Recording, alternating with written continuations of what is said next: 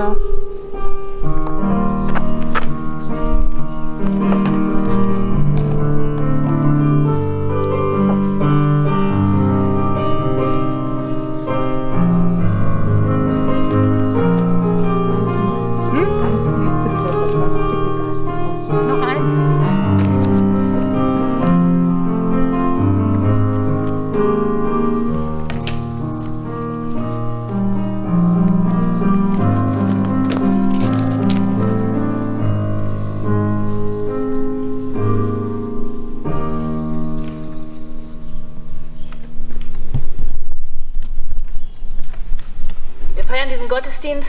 Namen des Vaters, des Sohnes und des Heiligen Geistes.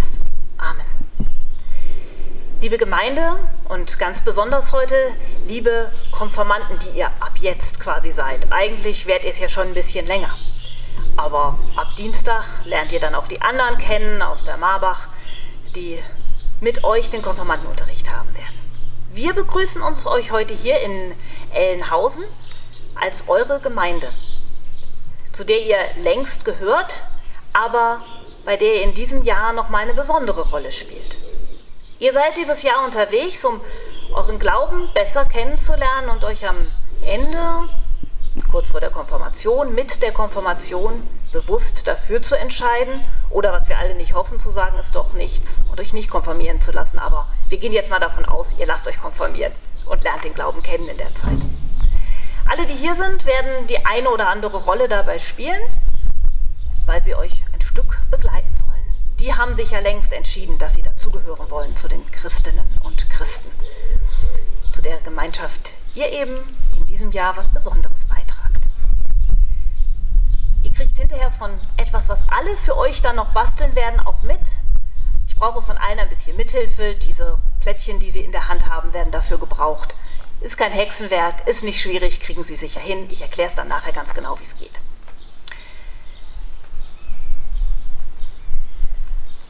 Herzlich eingeladen ist natürlich auch schon jetzt zu den nächsten Gottesdiensten. Konfirmanden sind demnächst ein bisschen mehr verpflichtet. Alle anderen dürfen gerne kommen. Die nächsten sind hier am 30.08.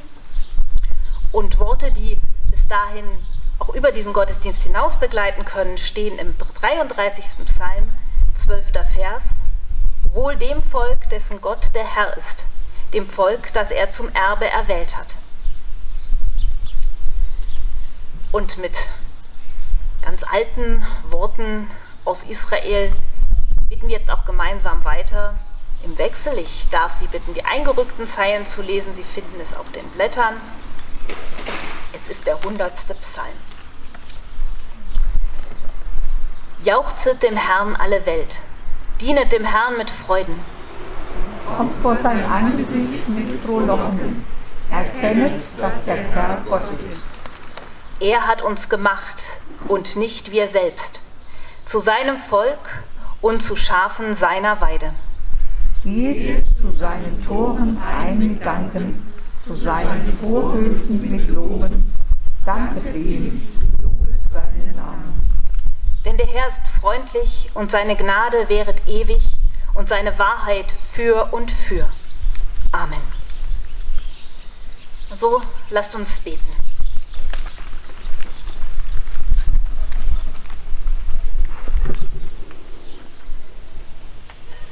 Gott unser Vater und unsere Mutter, du vereinst uns mit allen, die an dich glauben. Wir bitten dich, sprich zu uns, zeige uns deine Liebe, dass wir in dir verbunden bleiben und einander helfen, nach deinem Willen zu leben, durch Jesus, deinen Sohn, unseren Bruder. Amen.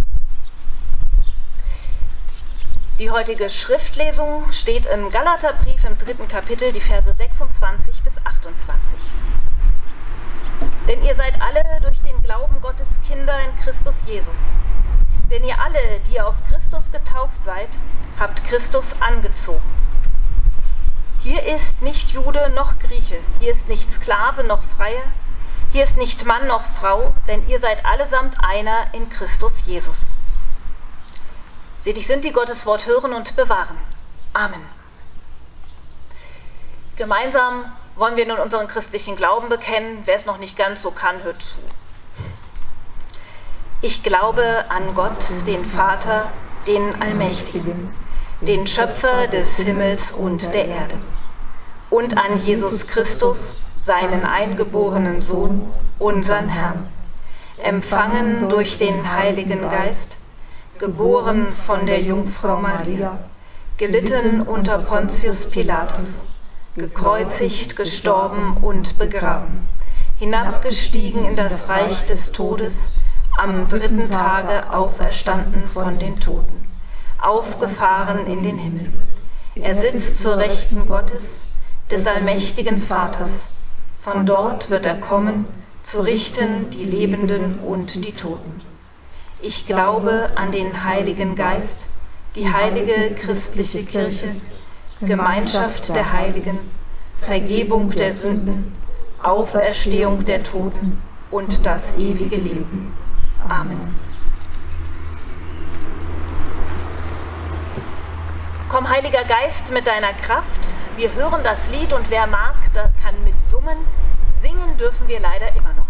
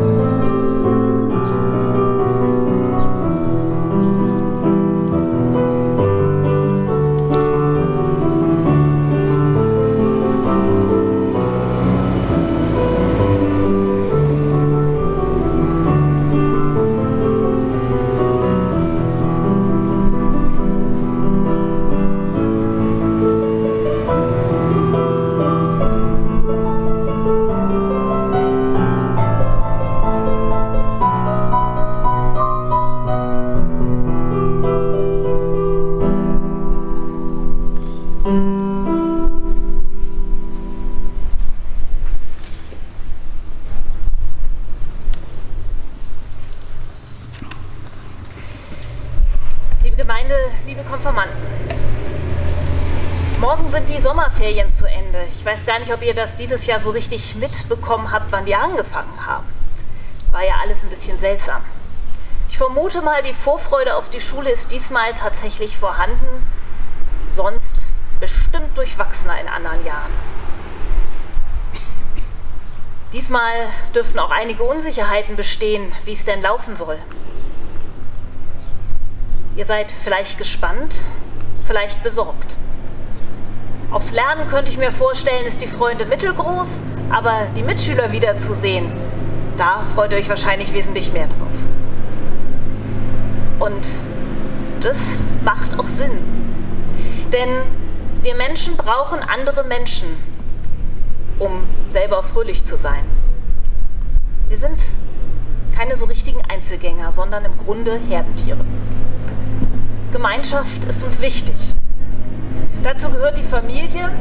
Aus irgendwelchen Gründen reicht die auf Dauer aber nicht aus. Freunde sind dann genauso wichtig. Hier in der Kirche sind wir auch eine Gemeinschaft. Vielleicht merkt man das immer nicht so deutlich wie in Klassenverbänden, wo man sich jeden Tag sieht.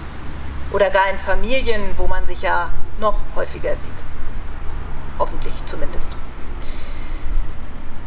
Aber es ist eine Gemeinschaft.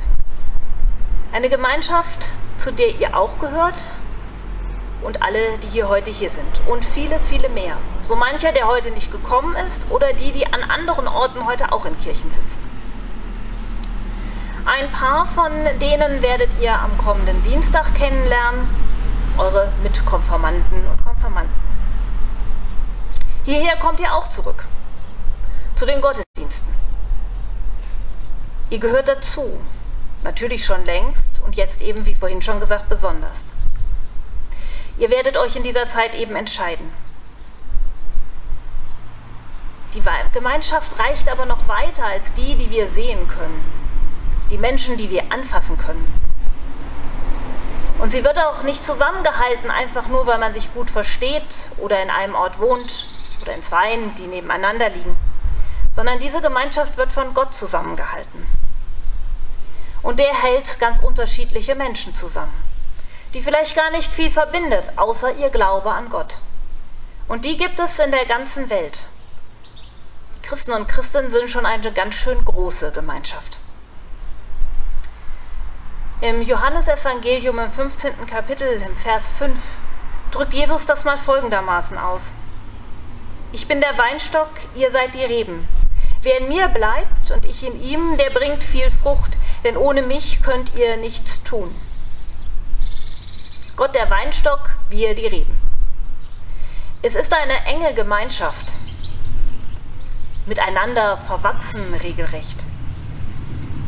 Die, die die Worte hörten, kannten sich mit Weinstöcken und Reben ziemlich gut aus, wussten, wie man sie pflegt, damit die Reben gut wachsen und die Trauben lecker werden und der Wein hinterher auch. Es gibt nur gute Früchte mit einem guten Weinstock. Und das ist Gottes Zusage an uns alle.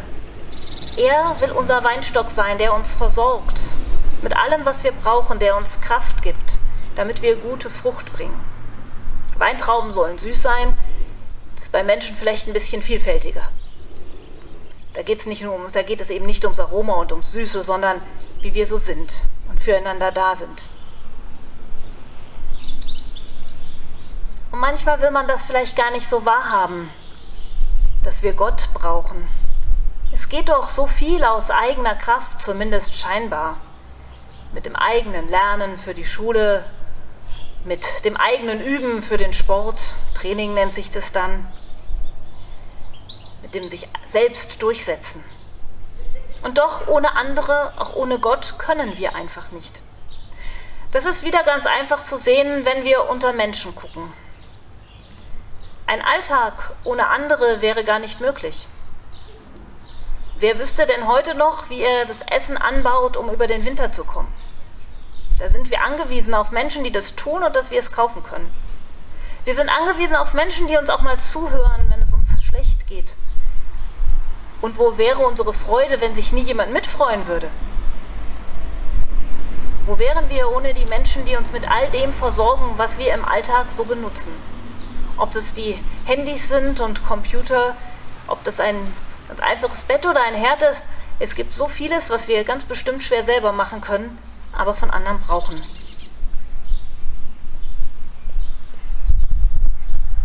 Wo wären wir ohne andere Menschen? zum Zuhören, zum Mitlachen, zum Mitweinen.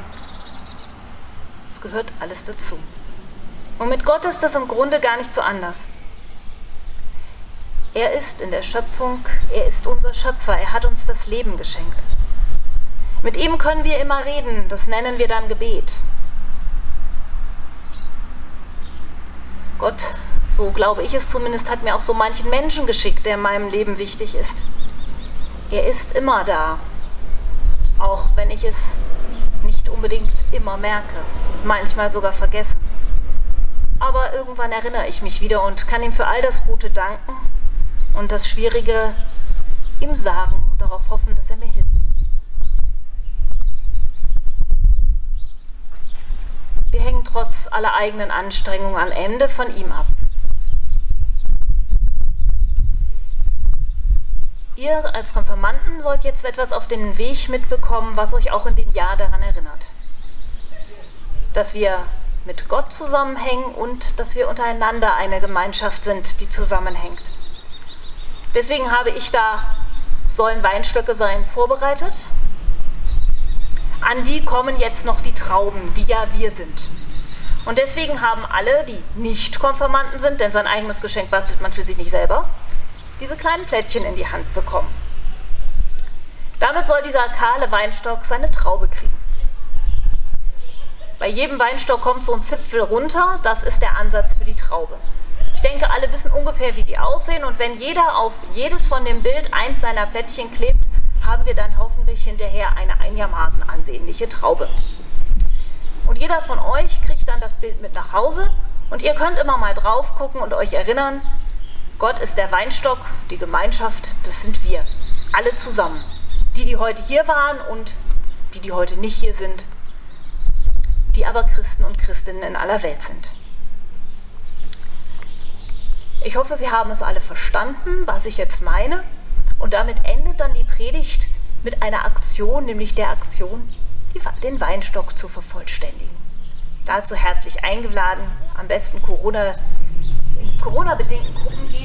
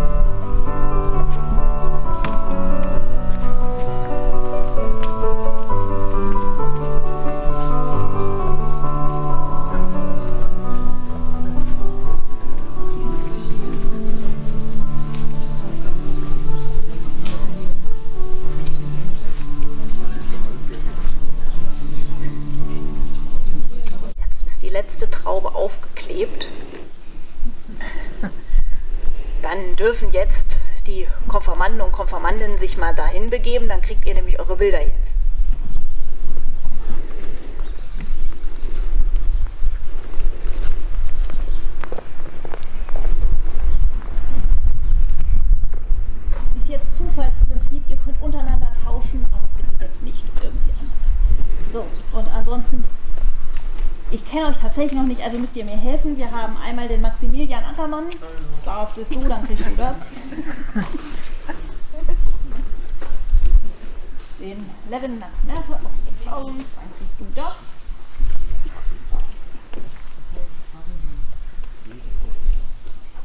Leonhard Müller, der sogar in der richtigen Reihenfolge. Und der Niklas Müller. So.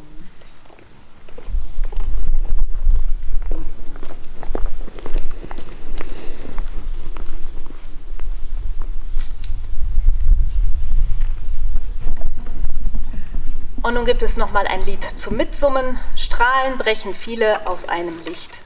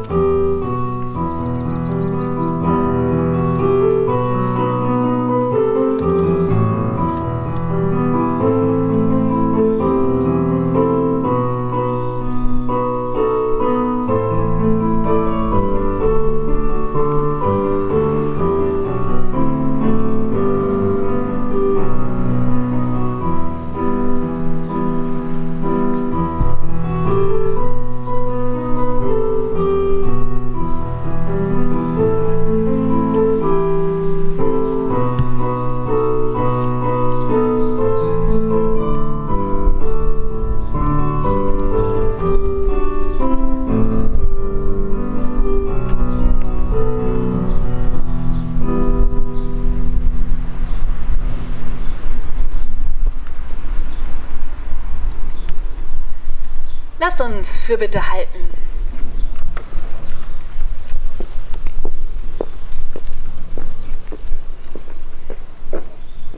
Gott, du gibst uns Richtung und Sinn. Durch Jesus zeigst du uns, wie deine Liebe unser Leben ordnet.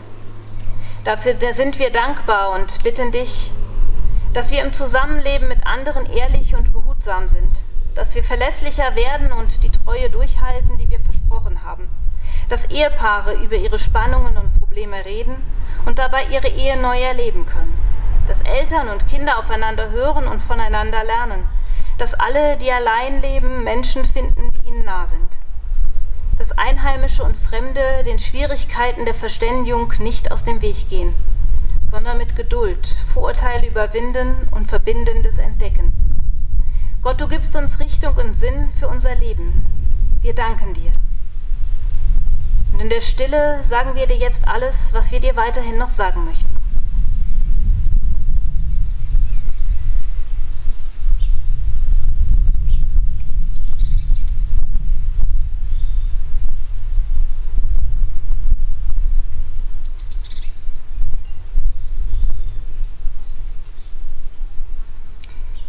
Wir beten weiter, wie du es uns gelehrt hast. Vater unser im Himmel geheiligt werde dein Name, dein Reich komme, dein Wille geschehe, wie im Himmel, so auf Erden. Unser tägliches Brot gib uns heute und vergib uns unsere Schuld, wie auch wir vergeben unseren Schuldigern. Und führe uns nicht in Versuchung, sondern erlöse uns von dem Bösen. Denn dein ist das Reich und die Kraft und die Herrlichkeit in Ewigkeit. Amen.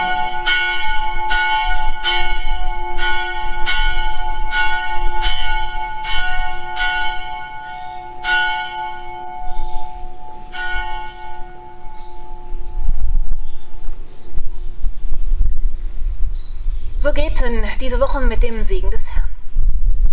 Der Herr segne dich und behüte dich. Der Herr lasse sein Angesicht leuchten über dir und sei dir gnädig. Der Herr hebe sein Angesicht auf dich und gebe dir Frieden. Amen. Jo, ich verabschiede mich schon wieder. Einige sehe ich Dienstag, andere sehe ich Mittwoch.